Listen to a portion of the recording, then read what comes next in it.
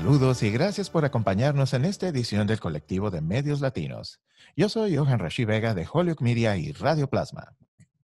Hola, ¿qué tal? Te saluda Verónica García, productora y conductora del programa de presencia en NPM. Nuestra invitada de hoy es Valentina Amaro, gerente de cuentas de comunicaciones y alcance en Archipiélago Strategies Group, quien está ayudando a crear conciencia con el programa Community Tracing Collaborative este es el programa a cargo de liderar el rastreo de contactos en Massachusetts para detener la propagación del coronavirus.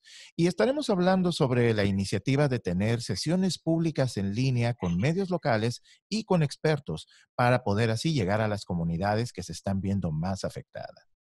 A propósito de ello, una audiencia virtual o town hall para la región del oeste de Massachusetts se estará llevando a cabo el jueves 18 de junio de 6 a 7 y 30 de la tarde.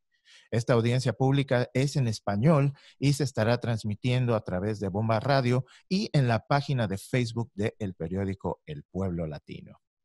Valentina, muchas gracias por estar con nosotros. Bienvenida. Hola, ¿cómo está? Muchas gracias a ustedes los dos por, por tenerme hoy acá. Cuéntanos un poco, Valentina, en este proyecto de rastreo, el cual tiene como propósito poder identificar cuáles son los efectos que ha tenido el coronavirus en diferentes regiones de Massachusetts. ¿Cuál ha sido el progreso de este proyecto hasta ahora? Bueno, eh, como tú lo mencionabas, este proyecto es una colaboración entre el Estado, em, Partners in Health y el Departamento de Salud Pública al principio estamos viendo como miles, o sea, literalmente fueron mil personas alrededor de todo el estado que habían estado haciendo las llamadas y estamos viendo que las llamadas no estaban siendo em, atendidas de la manera que esperábamos. Y ahora pues las llamadas, ahora la gente las está atendiendo muchísimo más y yo creo que pues este programa es algo que va a durar hasta finales de año. O sea, no es solo que se acaba ahorita que estamos reabriendo el estado, ¿verdad? Esta iniciativa ha, empezado a raíz de esta pandemia.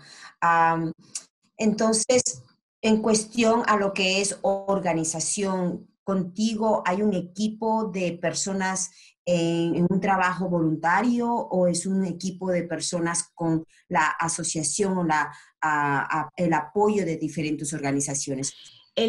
El seguimiento de, una enfermedad es quizás como algo que nosotros no habíamos escuchado antes porque no habíamos vivido una pandemia, ¿verdad? Este, tan extensa como esta, solo este, en diferentes países y localizadas. Y las personas de Partners in Health, que es esta organización que se ha encargado de hacer esto en países como en Haití, em, en continentes como en África, cuando pasó eh, el ébola, ellos han, han hecho este, esto en, esos lugares y es la primera vez que están aquí en Massachusetts. Como tal como en mi equipo, yo trabajo eh, para, orgullosamente para ASG, que nosotros somos esta agencia que trata de comunicar eh, el mensaje a las personas latinas o de otra etnicidad sobre todo en una manera que nos entendamos, ¿verdad? Cómo, qué, ¿Cuál es la radio que ustedes escuchan? ¿En dónde está usted? Porque la idea es nosotros llegarle a usted y no que usted haga el esfuerzo de llegar hacia nosotros. Entonces, eso es lo que hace mi equipo como tal en la parte del manejo de la comunicación. Cuando me preguntas sobre el equipo de, que, de las personas que están haciendo las llamadas, eh, fueron personas como tal de Partners in Health, pero también muchas personas de cada comunidad. Entonces, como te digo, son personas que eh, están en Worcester, en Lynn, en Springfield, por ejemplo, y son gente común de toda la vida que conoce a la comunidad y voluntariamente este, se prestan a, hacer estas llamadas y en ayudar a la gente a, a, saber qué es lo que necesitan, ¿verdad? Cuando hacen las llamadas.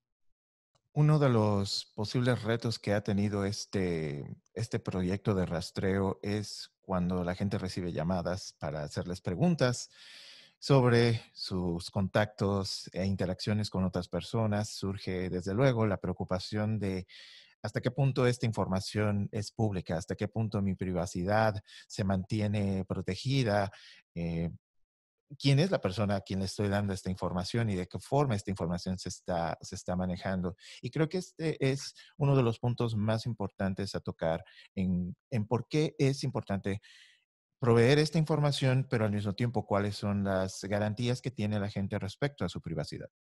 Sí.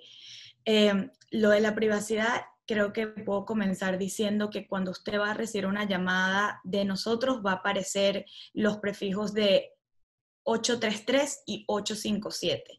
Y también va a aparecer en la pantalla más COVID Team. Entonces, a usted ya sabe que, que son las personas que están haciendo este seguimiento y comparte la, de la privacidad, todo esto se queda solamente en el área del Departamento de Salud Pública del Estado.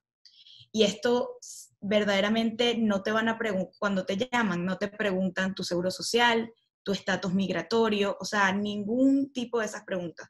Sabemos que pues hay muchas cosas pasando y hay cosas eh, hay personas que se pueden aprovechar de esto, pero por eso es importante y por eso yo creo que estoy aquí hoy para informarle a la gente que no, si usted ve, le hacen un tipo de llamada de estas y le preguntan sobre su seguro social o estatus migratorio, cuelgue la llamada porque no somos nosotros.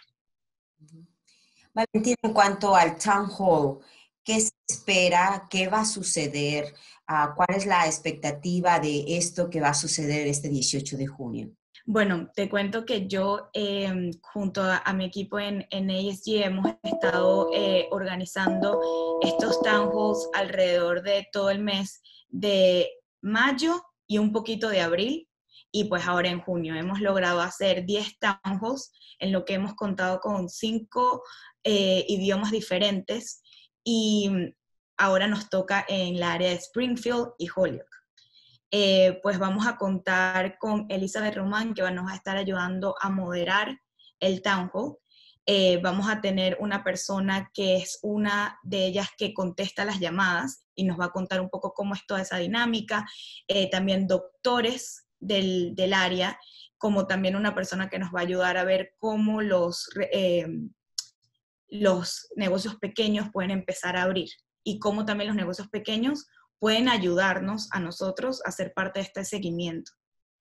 Y en ese sentido, pensando en el punto en que nos encontramos ahora con la fase 2, en la que ya muchos negocios están comenzando a regresar a las actividades con muchas modificaciones, también existe el riesgo que aunque los números continúan marcando una tendencia al descenso, pero está todavía el riesgo latente de que pudiese resurgir eh, nuevos casos de, contagio.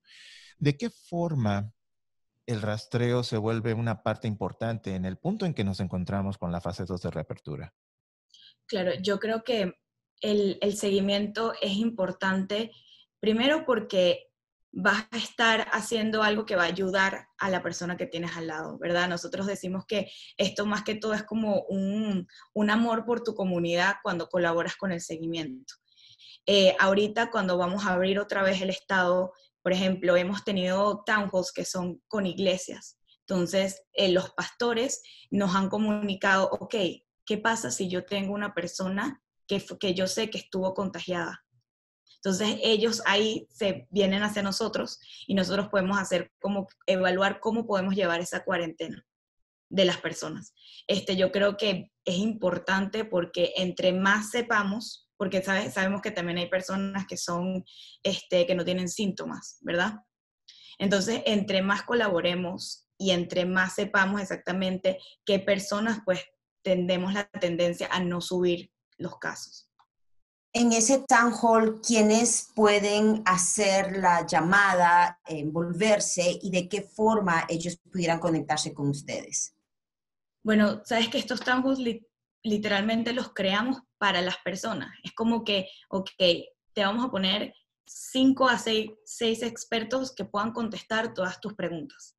Entonces, la idea es, eh, vamos a estar en un Facebook Live en la página de Facebook de La Bomba y también en La Voz Em, donde eh, vamos a estar contestando preguntas y yo voy a estar monitoreando todas esas preguntas para mandárselas a Elizabeth.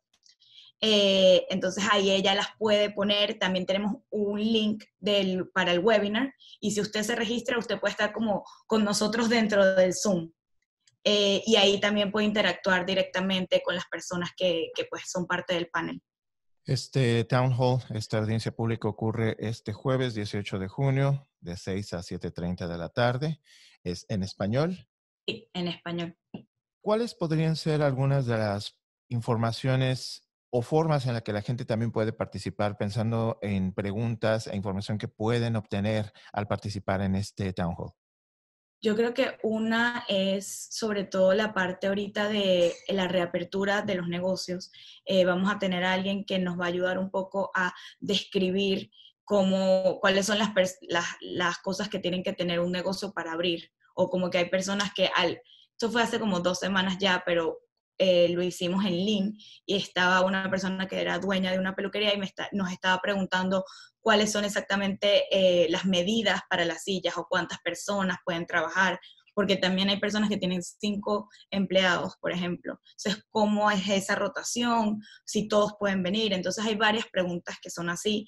Eh, también vamos a estar ofreciendo preguntas sobre dónde obtener pruebas eh, para el coronavirus, o sea, dónde la gente puede ir tranquilamente y hacerse la prueba, cómo es esta prueba y así. Si surgieran otro tipo de preguntas, como por ejemplo, si hay violencia doméstica dentro de sus hogares, si hay personas que están tal vez en depresión, o este tipo de preguntas, ustedes también tienen el personal o las organizaciones que pueden apoyar en cuanto a otras áreas que no necesariamente sea con, con alguna enfermedad o en este caso con lo que es la pandemia. ¿Cómo ustedes quieran apoyar en esa área? Pues si nosotros no tenemos las personas dentro de los panelistas del town hall, ¿verdad? Porque puede pasar, este, haríamos ese como follow-up con usted después del town hall.